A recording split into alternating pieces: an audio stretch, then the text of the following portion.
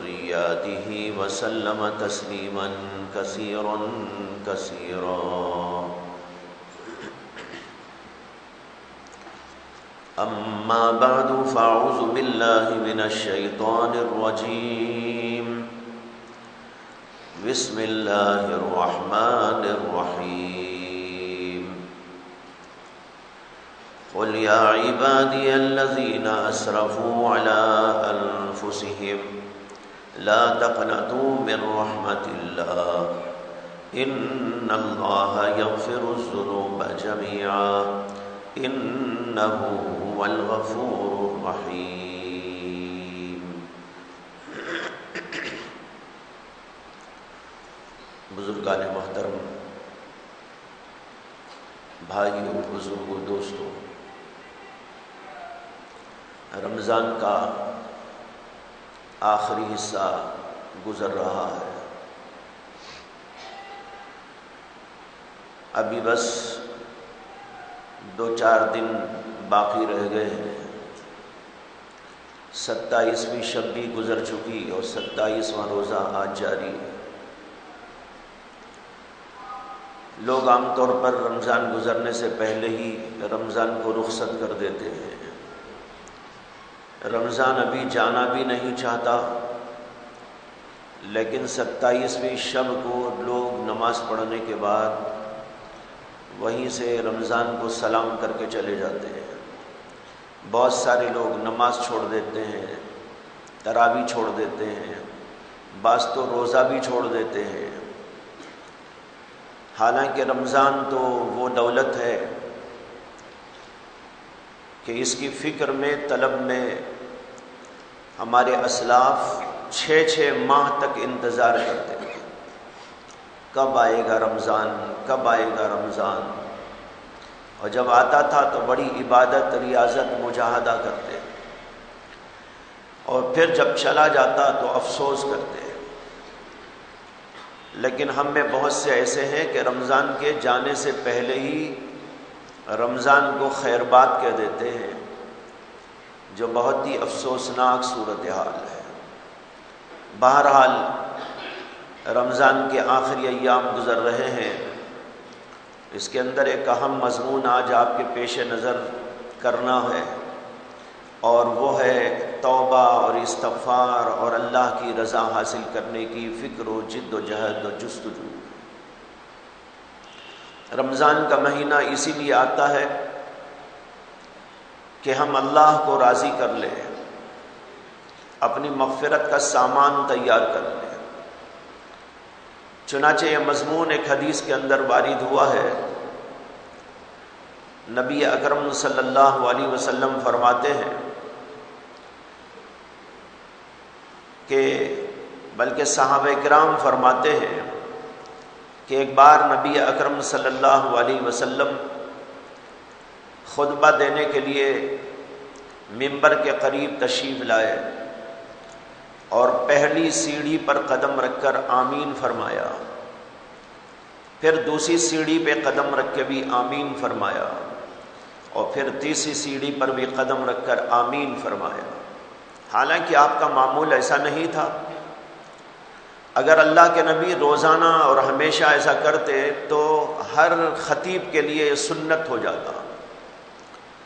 कि जब भी पहली सीढ़ी पर, दूसरी सीढ़ी पर, तीसरी सीढ़ी पर कदम रखे तो आमीन आमीन आमीन कह के जाया करे। लेकिन मामूल ऐसा नहीं था। इत्तेफाक से एक बार ऐसा हुआ कि नबी अकरम सल्लल्लाहु अलैहि वसल्लम ने आमीन आमीन आमीन कही। खुतबे के बाद हज़रत साहबा रिजवान तजमाइन ने आपसे दरियाफ़ किया कि या रसूल अल्लाह आज आपने खिलाफ मामूल, आमीन आमीन कहकर अपने कदम मुबारक मिंबर पर रखते गए, इसकी क्या हिकमत है? इसकी क्या वजह है? आपने फरमाया कि जब मैं यहाँ पर आया तो मैंने जिब्रील को पाया। यहाँ जिब्रील मौजूद थे। जब मैं पहली सीढ़ी पे कदम रख रहा था तो वो दुआ कर रहे थे कि अल्लाह, उस आदमी को हलाक कर, तबाह कर, जो रमज़ान मुबारक का महीना पाए और फिर भी अपनी मगफिरत का सामान न बना ले। मैंने इसके ऊपर आमीन कहा। दूसरी सीढ़ी पे कदम रखा तो जिबरील ने कहा कि अल्लाह, वो आदमी हला को तबाह कर दिया जाए? जिसे बूढ़े वालिदैन नसीब हो और वो उनकी खिदमत करके अपनी जन्नत ना बना ले। मैंने इसके ऊपर आमीन कहा। तीसरी सीढ़ी पे कदम रखा तो जबरील ने अल्लाह से दुआ की कि अल्लाह, वो आदमी हलाक व तबाह हो, जिसके सामने मोहम्मद सल्लल्लाहु अलैहि वसल्लम का तस्करा किया जाए और वो आप पर दरूद न भेजे। मैंने इसके ऊपर भी आमीन कहा। यह हदीस है। फ़ज़ाइल आमाल के अंदर भी यह हदीस लिखी हुई है। और आपने बार बार इसको सुना होगा। लेकिन समझने की बात यह है कि इस हदीस में जबरील दुआ कर रहे हैं, जिसका ज़िक्र अल्लाह के नबी फरमा रहे हैं। दुआ करते हैं कि अल्लाह वो आदमी हलाक हो, तबाह हो जिसे रमज़ान मुबारक का महीना मिल जाए, लेकिन वो इबादत कर कर, रियाजत कर कर, मुजाहदा करके तौबा करके इस्तफार करके अपनी मगफिरत का सामान न बना ले। इस पर अल्लाह के नबी सलाम ने आमीन फरमाया। जबरील की दुआ मकबूल, मंबर रसूल पर, मंबर रसूल के करीब, मस्जिद नबवी में तो ज़ाहिर बात है कि यह दुआ तो मकबूल ही मकबूल है। और फिर इसके ऊपर अल्लाह के नबी सलाम का आमीन कहना, ये इसकी कबूलियत के लिए एक बहुत ही बड़ी दलील है।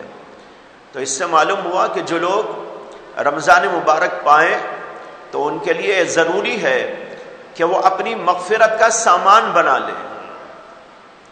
यानी अपने गुनाहों से पाक होने, साफ़ होने और मुजल्ला और मुसफ़ा हो जाने का इंतज़ाम कर ले। ये इंतहाई ज़रूरी है और दिनों में भी ज़रूरी है, लेकिन रमज़ान के अंदर तो बहुत ही अहम है। हर वक्त मोमिन को तोबा इस्तफार बराबर करते रहना चाहिए। इसलिए कि तोबा इस्तफार करते रहेंगे तो गुनाह साफ़ होते रहेंगे। एक तो गुनाह ना करना है। और दूसरे अगर कभी हो जाए तो उस पर अल्लाह को राज़ी करने के लिए तौबा और इस्तफार करना चाहिए। कुरान मजीद की जो आयत मैंने खुदबे में पढ़ी है, उसके अंदर अल्लाह का इरशाद है ए नबी सलाम आप फरमा दीजिए, ये फरमा दीजिए मेरी तरफ़ से या इबादी लजीना असरफ़ु ला तकनतु मिर रहमत इन अल्लाह यकफ़िरजुनूब जमिया इन रहीम।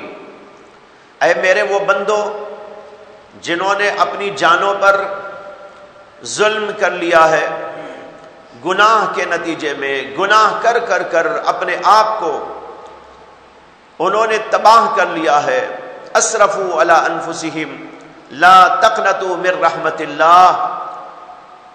तुम अल्लाह की रहमत से ना उम्मीद ना होना।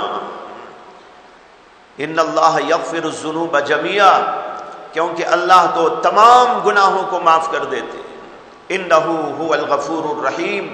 बिलाशुबा अल्लाह, बहुत बख्शने वाले, बहुत रहम करने वाले इस आयत के अंदर अल्लाह ने बता दिया है कि बंदों को मायूस होने की ज़रूरत नहीं। अल्लाह का दरबार हमा वक्त खुला रहता है। सुबह हो, शाम हो, दोपहर हो, दिन हो, रात हो 24 घंटे अल्लाह का दरबार खुला है। बंदे आए और अल्लाह से तौबा इस्तफार करे। अल्लाह ताला उनके तमाम गुनाहों को बख्श देते इन आयतों के बारे में अहादीस में आता है कि कुछ लोग मोमिन हुए, मुसलमान हुए। लेकिन जब उन्होंने हिजरत करनी चाहिए तो काफिरों ने उनको पकड़ लिया और उन पर बड़ा जुल्म ढाया। उस जुल्म के नतीजे में वो डावाडोल हो गए। यानी ईमान के ऊपर बरकरार रहना उनके लिए मुश्किल हो गया। तो ऐसी सूरत के अंदर वो मायूस हो रहे थे। क्या करें? एक तरफ़ जुल्म की है इंतहा और दूसरी तरफ़ यह है कि अल्लाह नाराज़ हो जाएँगे। इसी सूरत में अल्लाह की तरफ़ से ये आयत नाजिल हुई और यही नहीं, बल्कि इसके बाद तक कई आयतें नाजिल हुई और इनके अंदर इनको बताया गया कि ए नबी अलैहिस्सलाम आप इन बंदों से कह दीजिए, या इबादी अल्लाजीना असरफू जिन्होंने अपने दिलों पर, अपने आप पर जुल्म किया है, यानी गुनाह कर कर और डावाडोल होकर, फितने में मुबतला होकर जिन लोगों का यह हाल हो गया, उनसे कह दीजिए, ला तकनतु मिर रहमतिल्लाह, अल्लाह की रहमत से ना उम्मीद ना होना जब ये आयतें नाजिल हुई तो हज़रत उमर रज़ी अल्लाह तु ने, जो लिखना जानते थे अरब लोगों के अंदर लिखने का रिवाज कम था। लिखने वाले भी बहुत कम तादाद में पाए जाते थे। और जो लोग लिखने वाले थे, उनमें एक हज़रत उमर रज़ी अल्लाह तु भी थे। उन्होंने इन आयतों को लिखा और उन लोगों के पास में भेज दिया, जिनका ज़िक्र अभी आपके सामने किया गया। जब ये आयतें उन तक पहुँची तो फिर उनको बड़ी तसल्ली हुई और फिर उन्होंने हिजरत की और अल्लाह के नबी अलैहिस्सलाम के दरबार में आकर ईमान कबूल किया। एक रिवायत में यह आता है कि यह आयत वहशी के बारे में नाजिल हुई। वहशी कौन है?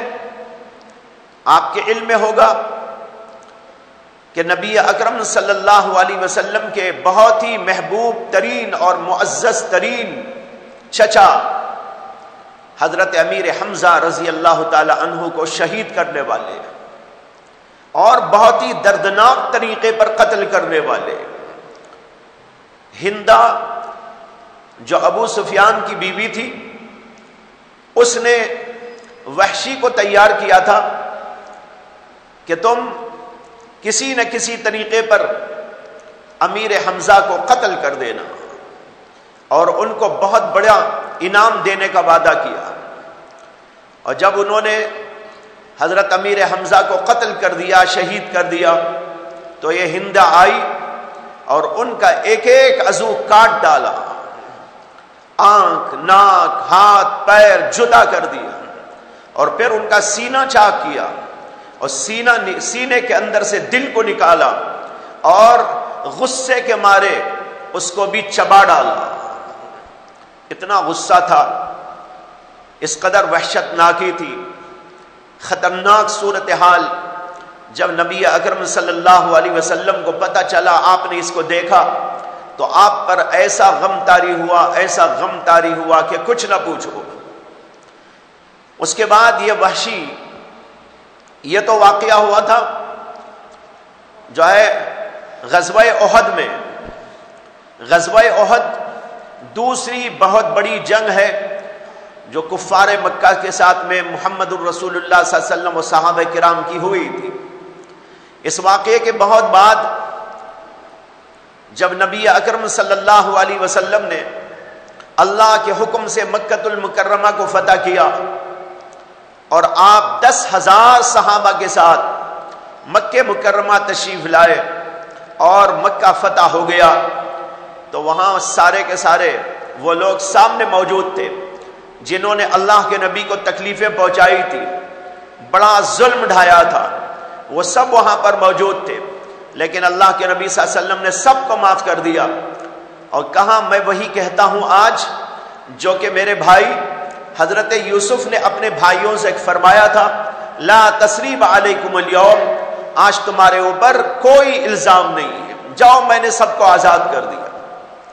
लेकिन कुछ लोग जो बहुत ही ज़्यादा बदतरीन दुश्मन थे अल्लाह के नबी सलाम के, उनके दिमाग में आया कि हमारी तो माफ़ी हो नहीं सकती। अब हम मिल जाएँ इनके हाथ तो हमारा तो हशर बहुत बुरा होगा। इसलिए कि इतनी तकलीफ़ पहुंचाई थी, इस कदर जुल्म किया था, जिसकी कोई इंतहा नहीं। उन्हीं लोगों में एक वहशी भी थे, वो भी भाग के कहीं चले गए थे। ताकि मोहम्मद वसल्लम के हाथ न लगू। लेकिन किसी ने उनको बताया कि तुम किस खाम ख्याली में हो, किस गलत फहमी का शिकार हो, तुमने मोहम्मद वसल्लम को समझा नहीं है, वो तो बहुत बड़े बड़े दुश्मनों को माफ़ कर देते तुम्हारे से भी बड़े दुश्मनों को माफ़ कर देते इसलिए हम आपसे कहते हैं कि आप जाइए मोहम्मद वसल्लम के दरबार में और जाकर माफ़ी मांग लीजिए। तो वहशी को जरा सी हिम्मत हुई। और वहशी आए मोहम्मद वसल्लम की खिदमत अवदस में। और आकर सबसे पहले ये कहा कि मैं बहुत बड़ा गुनेगार हूँ। मैं मैंने बहुत आपको सताया है। लेकिन उसके बावजूद मैं आपकी पनाह में अपने आप को देता हूँ। जब तक कि मेरे बारे में कुरान की कोई आयत नाजिल ना हो जाए और मैं अल्लाह का कलाम न सुन लू।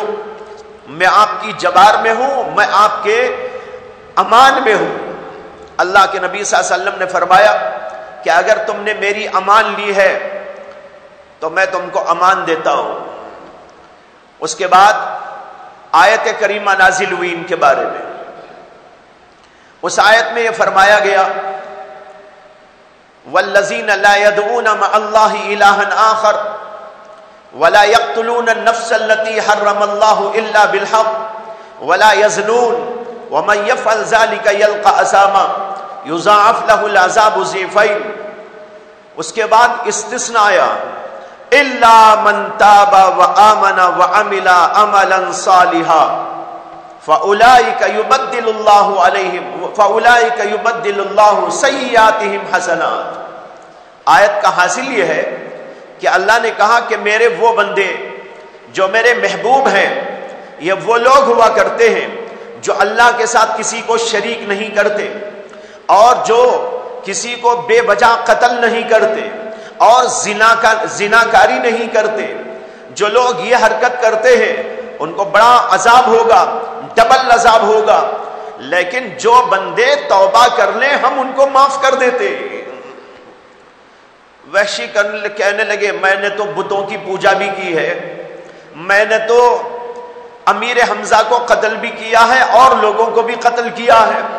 और मैंने ज़िंदगी में जिना भी बहुत किया है। और अल्लाह ये कह रहे कि, माफ़ कर दूँगा। इल्ला मनताबा व आमना व अमीला अमलन सालिहा। माफ़ अल्लाह उनको करते हैं जो तौबा करके ईमान लाए। मैं ईमान तो ले आऊँगा। लेकिन अल्लाह ने यह भी शर्त लगाई है, वह अमीला अमलन सालिहा, नेक अमल करते रहे, लेकिन मेरी ज़िंदगी में मैं नेक अमल ना कर पाया तो मेरा क्या होगा? अल्लाह के नबी वसल्लम खामोश हो गए। और वहशी ने कहा, मैं आपकी पनाह में उस वक्त कहूँ जबकि जब तक के दोबारा कोई आयत नाजिल ना हो जाए। कुरान मजीद के अंदर फिर दूसरी आयत नाजिल हो गई। और अल्लाह ने उसके अंदर फरमाया इन अल्लाह यकफिरु इन अल्लाह ला यकफिरु अयुशरक बिही वयक फिर नजाली कली मैशा अल्लाह ताला शिरक और कुफ्र करने वाले को माफ़ नहीं करता, लेकिन इसके अलावा कुछ भी गुना हो गया हो तो अल्लाह जिसको चाहते हैं माफ़ कर देते इन अल्लाह लायक फिर अयुश्र कभी व यक फिर मादून का लिमयशा अल्लाह जिसको चाहे, कुफरो शिर के अलावा कुछ गुना गुना किया है तो सब माफ़ कर दे। वहशी को अल्लाह के नबी वसल्लम ने आयत सुनाई, देखो तुम्हारे बारे में ये आयत आई। वहशी करने, कहने लगे कि इसके अंदर तो अल्लाह ने यह कहा है कि अल्लाह जिसको चाहेंगे माफ़ करेंगे। अगर अल्लाह ने मुझे नहीं चाहा तो मेरा क्या होगा? अल्लाह ये कह रहे अल्लाह उसे माफ़ कर देंगे जिसको अल्लाह चाहेंगे। अगर अल्लाह ने मेरे बारे में नहीं चाहा तो फिर मेरा क्या होगा? इसलिए मैं आपकी जवार में उस वक्त तक हूँ जब तक कि मजीद कुछ और रहनुमाई मुझे नहीं मिल जाती। उसके बाद तीसरी आयत करीमा नाजिल हुई। तीसरी आयत वही नाजिल हुई जो अभी मैंने पढ़ी थी। कुल या इबादी अल्लजीना असरफू अला अनफुसिहिम ला तखनतु मिर यगफिरुज़्ज़ुनूब जमिया बंदो, जिन्होंने अपनी जानों पे जुल्म कर लिया है, अल्लाह की रहमत से मायूस होने की ज़रूरत नहीं, अल्लाह तुम्हारे सब गुना माफ़ कर देंगे। तब उन्होंने कहा कि अब मैं ईमान लाता हूँ। ईमान लाए और सच्चे वो पक्के मुसलमान बंदे हो गए। लेकिन अल्लाह के नबी अलैहिस्सलाम ने उनसे एक बात फरमाई कि वहशी, तुम्हारे सारे गुना माफ़ हो गए। अल्लाह ने तुम्हारे बारे में तीन आयतें नाजिल की। ये बार बार सवाल कर रहे और अल्लाह आयत नाजिल कर करके उनको तसल्ली दे रहे। देखो, अल्लाह की रहमत भी कैसी रहमत है। इतना बड़ा जालिम आदमी अल्लाह के नबी वसल्लम को तकलीफ़ पहुँचाने वाला, ज़िंदगी भर दीन इस्लाम की मुखालफत करने वाला, हज़रत अमीर हमजा को वहशियाना तौर पर कत्ल करने वाला। लेकिन जब वो आया अल्लाह के दरबार में, अल्लाह आयत पर आयत आयत पर आयत नाजिल कर रहे किसी तरह ये बंदा मोमिन हो जाए, कबूल कर ले और जहन्नम से आज़ादी का परवाना इसको मिल जाए। वैशी करने कहने लगे, अब मैं लाता हूँ ईमान। अल्लाह के नबी ने कहा, तुम्हारे सब गुना माफ़ हो गए और मैं भी तुम्हारे से राज़ी हो गया। अल्लाह भी तुम्हारे से राज़ी हो गया। लेकिन देखो वहशी, जब मैं तुम्हारा चेहरा देखता हूँ तो मुझे मेरे चचा याद आ जाते हैं। जब तुम मेरे सामने आओ तो मुझे मेरे चचा का चेहरा सामने आ जाता है। और जो उनके साथ मामला हुआ, वो सारा नक्शा मेरे जहन के अंदर घूमने लगता है। जिससे मुझे बड़ी अजियत और बड़ी तकलीफ़ गुजरती है। मैं तुमसे राज़ी हूँ, लेकिन सिर्फ़ तुम्हारा चेहरा देखने से चूँकि ये चीज़ें मुझको याद आ जाती हैं, इसलिए मैं तुमसे कहता हूँ कि कभी मुझे अपना चेहरा ना दिखाना। वहशी ने कहा कि बहुत ठीक, लेकिन अल्लाह के नबी की जियारत को उनका जी भी चाहता था। तो क्या करते थे? कहीं कोने में बैठते थे। ऐसी जगह बैठते थे कि अल्लाह के नबी की निगाह में तो वो ना आए, लेकिन वो अल्लाह के नबी को देख लिया करें। इस तरह उनकी ज़िंदगी गुजरी। ये वाकया सुनाने का मकसद इस आयत की रोशनी में यह है कि कितना भी बड़े से बड़ा गुनेगार हो, अल्लाह माफ़ करने को तैयार होते हैं। ये महीना माफ़ी का महीना है इस्तफार करने का महीना है और अल्लाह की तरफ़ से मगफिरत का परवाना बांटे जाने का महीना है। हदीस में आता है कि नबी अकरम सल्लल्लाहु अलैहि वसल्लम ने फरमाया कि पहला अशरा रमज़ान का रहमत का अशरा है और दूसरा अशरा मगफिरत का अशरा है और तीसरा अशरा जहन्नम से खुलासी और आज़ादी का है।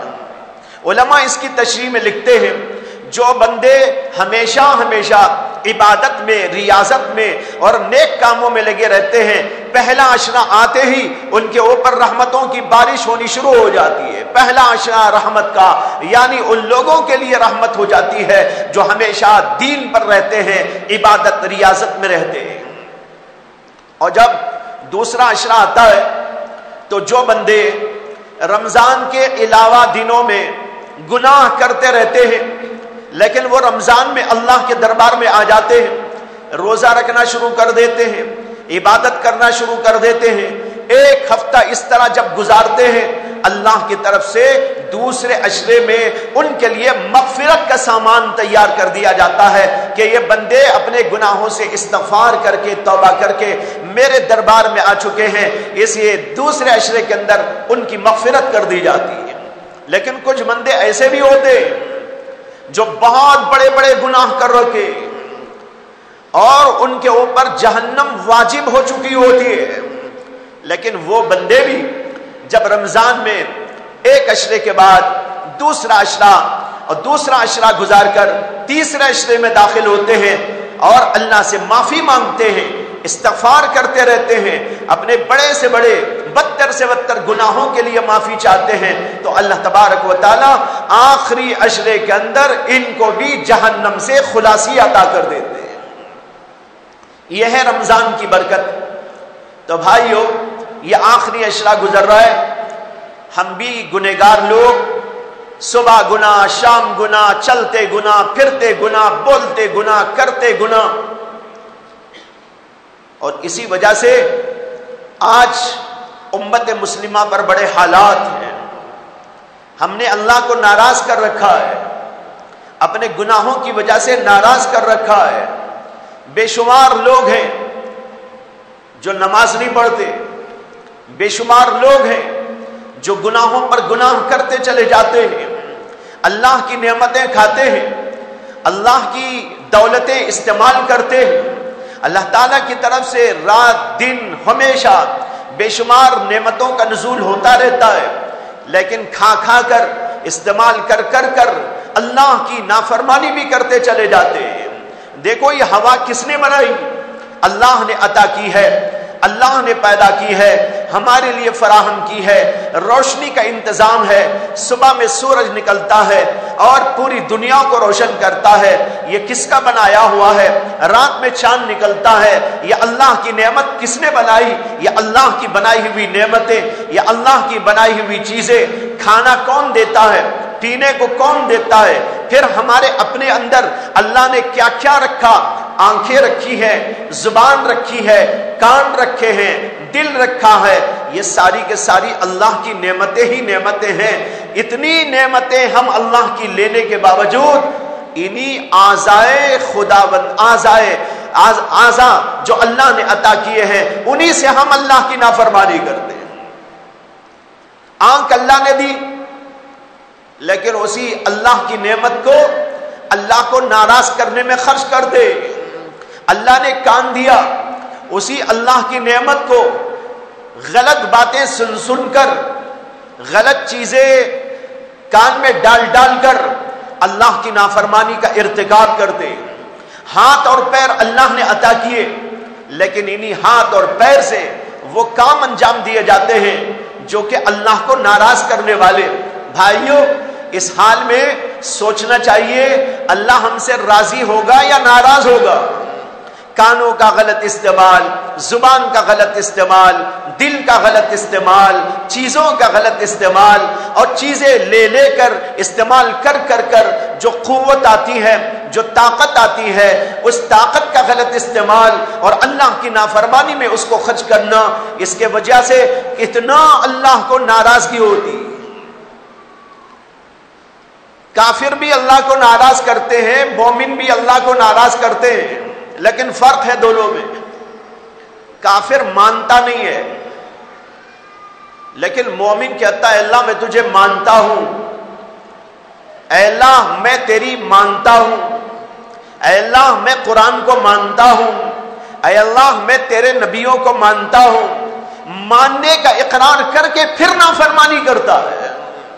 जो मानता ही नहीं, काफिर बदबख्त अल्लाह उसे दुनिया में जो देना दे देते हैं, हुकूमत भी दे देते हैं, ताकत भी दे देते हैं, नेमतें भी दे देते हैं, सब कुछ उनको देकर अल्लाह का ये फैसला होता है, हमने जो कुछ देना था इनको दुनिया में दे दिया, दुनिया ही इनकी जन्नत है। लेकिन भाइयों, मोमिनों का मसला ऐसा नहीं, अगर हम नाफरमानी करें अगर हम बेईमानी करें, अगर हम बददियानती करें, अगर हमारे यहाँ भी शराब नोशी होने लगे, जिनाकारी का सिलसिला जारी रहे, गलत हरकतें होती रहे, अमानत में खियानत जारी रहे, हलाल और हराम की तमीज न रहे, और ज़ुबान का गलत इस्तेमाल होने लगे, हाथ पैर का गलत इस्तेमाल होने लगे तो अल्लाह की पकड़ आती है और दुनिया के अंदर मोमिनों को इसकी वजह से तंगी में डाल दिया जाता है। आज जो सूरत हाल है सोचो, गौर करो, दुनिया हमारे लिए तंग हो रही है। लेकिन उसके बावजूद मुसलमानों को एहसास कुछ नहीं।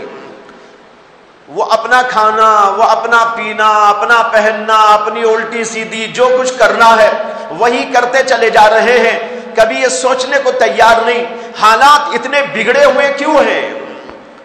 हिंदुस्तान हमारे लिए तंग क्यों है?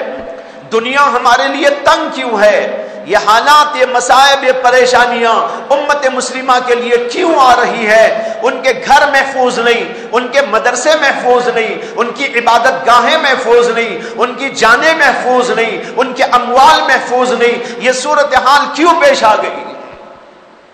भाइयों, सोचने की बात यह है, जो कुरान और हदीस के ज़रिए मालूम होता है, अल्लाह ने फरमाया, जहर अल फसाद फिल बर्री बल बहर। बिमा कसबत नास। बहरो बर में, खुशकी और तरी में, दोनों जगह पर फसाद बर्पा हो गया। जहर फसाद फिल बर्री बल बहर। क्यों? बिमा कसबत नास, लोगों के हाथों के करतूत के नतीजे। हमने अपने हाथों से बिगाड़ा है। अपने हाथों से हालात को चेंज किया है। और अगर फिर हालात को अच्छे करना है तो वो हमारे इख्तियार में है कि हम अपने आमाल को अच्छे कर लें। अपने हालात को अच्छे कर लें। अपने आप को बनाने की फ़िक्र में लग जाए। तोबा करे इस्तफार करे, हालात को बदल दे और नमाज़ पढ़ना शुरू करे। ज़िक्र तिलावत का अहतमाम किया करे, गुनाहों से अपने आप को बिल्कुल बाज रखे, ना हाथ का कोई गुना हो, न ज़ुबान का कोई गुना हो, न दिल का कोई गुना हो, न आँख का कोई गुना हो, तमाम किस्म के गुनाहों से अपने आप को बचाए। यह है तौबा का मफहूम। यह तौबा का मफहूम नहीं है कि आदमी हाथ उठाकर कह ले अल्लाह, तौबा तौबा तौबा। और बाल लोग हाथ को ऐसा मार भी लेते हैं, अपने गालों पे मार लेते हैं। ये गालों पे मारना कुछ नहीं है, अपने दिल पे मारना है असल में तो। दिल तो वही है, सिर्फ़ ज़ुबान से कह लिया, तौबा तौबा। ये तौबा नहीं है, तौबा की हकीकत है। अपने माजी पर, अपने गुनाहों पर नदामत और शर्मिंदगी का होना और फिलफौर गुनाहों से बाज आ जाना और अल्लाह से यह वादा करना कि आइंदा गुनाह नहीं करूँगा पक्के अज़म को अल्लाह के सामने ज़ाहिर करना कि गुनाह के करीब नहीं जाओ। यह है तौबा। यह महीना तौबा का महीना है। इस्तफार कसरत से करना है। अपने आप को गुनाहों से बाज रखने का अल्लाह से वादा करना है। और फिर जब रमज़ान गुजर जाए तो रमज़ान के गुजरने के बाद रमज़ान के जैसा माहौल बरकरार रखना है। यानी रमज़ान में हम गुनाहों से जैसे बचते हैं, साल भर गुनाहों से बचना है। भाइयों, रमज़ान आता है हमको और आपको ट्रेनिंग देने के लिए, गुनाहों से छुटकारा पाने की ट्रेनिंग अपने आप को इबादत में लगाने की ट्रेनिंग अपने आप को अल्लाह वाला बनाने की ट्रेनिंग ये ट्रेनिंग का महीना है। इसमें ट्रेनिंग दी गई कि जैसे तुमने खाना छोड़ दिया जैसे तुमने पीना छोड़ दिया, जैसे अपनी जायज़ ख्वाहिशात को छोड़ दिया, अब हराम ख्वाहिशात को ज़िंदगी भर के लिए छोड़ दो। लेकिन लोगों ने रमज़ान का मकसद ही नहीं समझा। रोजों का मकसद ही नहीं समझा। उन्होंने समझा कि बस जनाब, रमज़ान आया है तो कुछ भूखे रह जाना है और जब रमज़ान चला जाए तो वो सब कुछ करना है जो पहले भी नहीं करते थे। बिल्लाह। ये रमज़ान का मकसद नहीं, ये रमज़ान का उल्टा मतलब ले लिया गया कि रमज़ान में चंद दिन खाना पीना तो बंद कर देंगे, जो ही रमज़ान जाएगा, आँख को भी खोल देंगे, और ज़ुबान को भी खोल देंगे कानों को भी खोल देंगे, हाथ पैर को भी खोल के छोड़ देंगे। ये बिल्कुल जो है जानवरों की तरह हो जाए, शैतानों की तरह हो जाए, शैतान बन जाए, जो जो काम शैतान कराना चाहे, वो हमसे कराता रहे। भाइयों, बुज़ुर्गों, अगर हमने रमज़ान का इतना ही मकसद समझा है तो हमने बहुत गलत मतलब समझा। न अल्लाह को समझा, न अल्लाह के मकसद को हमने समझा है। हज़रत मौलाना अबुल हसन अली नदवी नवर अल्लाह मरकदहू फरमाया करते थे, रमज़ान का रोजा छोटा रोजा है, रमज़ान के बाद एक बड़ा रोजा शुरू होता है। रमज़ान में छोटा रोजा यह है, खाना बंद, पानी बंद, जायज़ ख्वाहिशात पर पाबंदी लगा दी गई, और वो भी दिन दिन के अंदर, रात में तो आप खा सकते हैं। रात में मना नहीं, सिर्फ़ दिन दिन के अंदर मना, ये छोटा रोजा। लेकिन इस छोटे रोज़े से मकसद एक बड़े रोज़े के लिए हमको तैयार करना है। और वो बड़ा रोजा ये है कि ज़िंदगी भर हराम से बचो, ज़िंदगी भर गुनाह से बचो, ज़िंदगी भर अपनी आँखों को ठीक कर लो, ज़िंदगी भर के वास्ते अपने दिलों की सफ़ाई कर लो। इसके लिए रमज़ान मुबारक भेजा गया है। तो मैं अर्ज़ कर रहा था कि रमज़ान अभी गुजरने वाला है, खत्म होने वाला है।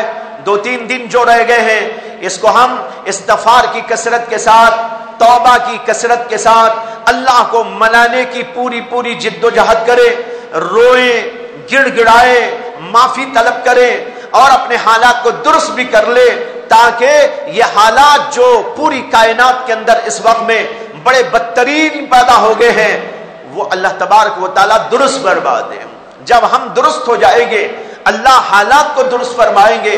अगर हम अपने आप को दुरुस्त नहीं करेंगे तो हम कुछ भी कर ले, भाइयों, कुछ होने जाने का नहीं है। आमतौर पर इस वक्त लोग वो काम करने की कोशिश करते हैं जो हमारे इख्तियार में नहीं, जो हमारे अपने इख्तियार में है। उस काम को करने के लिए राज़ी नहीं होते। हमारे इख्तियार में यह है, हम अपने आप को बदल डाले। जितने लोग यहाँ बैठे हैं, कम से कम वो आहद कर ले कि हमने रमज़ान जैसे पाकिजा माहौल में गुजारा। रमज़ान होने के बाद उसको हम बरकरार रखेंगे। अपने दिलों की सफ़ाई का एहतमाम रखेंगे। ज़ुबान को गलत इस्तेमाल नहीं करेंगे। हाथ पैर को गलत इस्तेमाल नहीं करेंगे। कमाई धमाई भी ठीक ठीक करेंगे।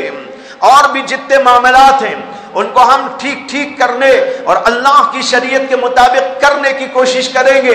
अगर इतने लोग भी इसके लिए तैयार हो गए तो भाइयों, बड़ा इनकलाब आ सकता है। आपकी वजह से आपके खानदानों पर असर होगा। आपके खानदान से फिर दूसरे खानदानों पर असर होगा। फिर उनसे और लोगों पर असर होगा। होते होते बहुत बड़ी तादाद की के ऊपर इसके असरात मुरतब होंगे, लेकिन हमें बहरहाल कुछ ना कुछ इसके लिए तैयार हो जाना चाहिए। ज़िंदगी गुजर रही है, गुजरते गुजरते गुजरते एक दिन अल्लाह का फरिश्ता सामने आके खड़ा होगा, तब हाँ हाँ करने से कोई फ़ायदा नहीं है। उससे पहले अल्लाह ने जो मोहलत हमको दी है, उसके अंदर इस्तफार करो। तौबा करो, माफ़ी मांगो, उसके लिए गिड़गिड़ाओ, रो रो कर माफ़ी मांगो, और जब बंदा रो रो कर, अल्लाह से माफ़ी मांग कर अपनी इसलाह कर लेता है, अल्लाह उसके हालात को बदल देते हैं, और उसके असरात बहुत दूर तक फैला देते हैं। आपने बिशर हाफी का नाम सुना होगा। एक जमाने में वो शराबी कबाबी थे।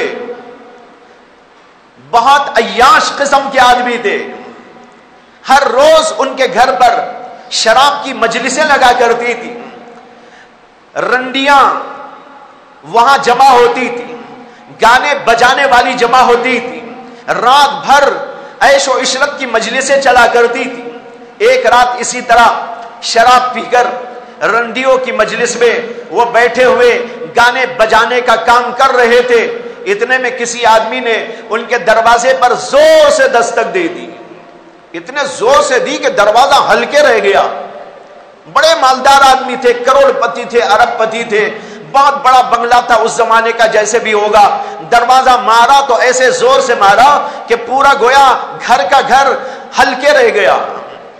उन्होंने कहा, देखो कौन है?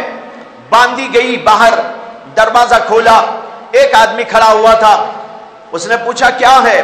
कहा कि, बिश्र का मकान है? उनका नाम था बिशर इबनुल हारिस। उनके बाप का नाम हारिस। हाफी नाम उनका नहीं है, हाफी की वजह दूसरी है। तो नाम उन्होंने बताया, पूछा, क्या यह बिशर इबनुल हारिस का मकान है? बांदी ने कहा, हाँ हाँ, उन्हीं का मकान है, क्या बात है? तो उसने कहा कि वो गुलाम आदमी है या आज़ाद है। तो बांदी को हँसी आ गई। बांदी कहने लगी, क्या बेवकूफ़ी की बात करता है यह आदमी? गुलाम आदमी का कोई मकान होता है? इतना बड़ा मकान, ऐशो इशरत के ये सामान, किसी गुलाम के पास ये कहा होता है? ये तो आज़ाद आदमी ही की है बात। तो उसने कहा अच्छा अच्छा इसीलिए तो वो बहुत आज़ाद हो गया है। अल्लाह की गुलामी से भी आज़ाद हो गया है। ये कहकर वो आदमी पलट के जाने लगा। बिशर हाफी ने बांदी से पूछा, कौन था? क्या बोल रहा था? बांदी ने बताया कि ऐसी ऐसी बात हो रही थी। एकदम दिमाग पे उनके बात लगी और उन्होंने कहा, उस आदमी को बुलाओ। और खुद बाहर निकल के आ गए। चप्पल पहने हुए नहीं थे। बगैर चप्पल के वो वहाँ से गुजर कर बाहर निकले और तलाश करने लगे। वो आदमी आगे जा रहा था। वो असल में कोई आदमी नहीं था। अल्लाह का फरिश्ता था। अल्लाह के फरिश्ते को अल्लाह ने उनकी हिदायत के लिए इंसानी शक्ल में भेज दिया था। जाकर सलाम किया और कहा कि आप ही मेरे घर पे आए थे। हाँ मैं ही आया था। आप क्या बोल रहे थे? उन्होंने कहा, मैं ये बोल रहा था, ये बिशर बड़ा आज़ाद हो गया है। ये अल्लाह की गुलामी से निकल गया है। उन्होंने फ़ौरन तौबा की और कहा कि आज से अल्लाह की गुलामी में दाखिल होता हो। शराब से कबाब से, जिना से, ऐश से, इशरत से, तमाम चीज़ों से तोबा करता हूँ। यह कहकर उसके हाथ पर उन्होंने तोबा कबूल की, तोबा की, और फिर उसके बाद उनका मकाम जो बढ़ा बढ़ा बढ़ा, अरे कहाँ से कहाँ तक पहुँच गया? अल्लाह वालों की सोहबत में रहे और बहुत ऊँचा मकाम अल्लाह ने उनको अदा किया। जब उनका इंतकाल हुआ है, इतने लोग उनके जनाजे के अंदर शरीक थे कि जो है सुबह फजर के वक्त में जनाजा उठाया गया तो चंद मील के फासिले पर कब्रस्तान था शहर का, वहाँ पर जाते जाते ईशा की नमाज़ हो गई। फजर का जनाजा ईशा में वहाँ पहुँचा, और रास्ते में जहाँ जहाँ वक्त होता था, नमाज़ का वक्त वहीं पर जनाजा रख दिया जाता था, पूरी मजलिस वहीं पर नमाज़ पढ़ती थी, और फिर जनाजा उठा के चलते थे। चलते क्या थे? सिर्फ़ हलते थे। चलने की जगह ही नहीं थी। उसी वक्त में इमाम बुखारी के उस्ताद अली इबनुल मदीनी भी वहाँ मौजूद थे। मशाइ का मजमा था, उलमा का मजमा था मुहदसिन का मजमा था मशाइ का मजमा था, बेशुमार अहल्ला का मजमा था वहाँ पर इमाम बुखारी के उस्ताद अली इबनुल मदीनी ने खड़े होकर ऐलान किया, इस बंदे का ये एजाज दुनिया में तुम अपनी आँखों से देख रहे हो, जरा ये अंदाज़ा कर लो कि कयामत के दिन इस बंदे का अल्लाह के पास में क्या एजाज होगा। भाइयों, तौबा करे तो ये तौबा, सच्ची और पक्की तौबा, आज ज़रूरत है, हर मुसलमान तौबा करे। इस्तफार करे, अपने आप को सुधारने और बनाने की कोशिश करे। वह आखिर उदावाना अनिलहमदिल्ला रबालमीन